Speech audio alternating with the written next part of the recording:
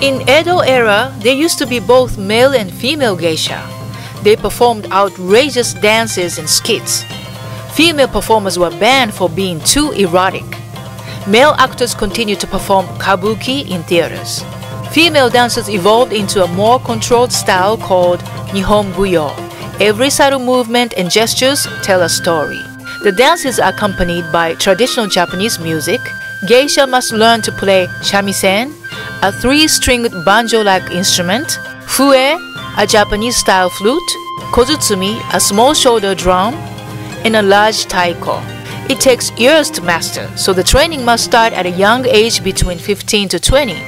They also learn proper ways of serving tea, literature, poetry, and calligraphy.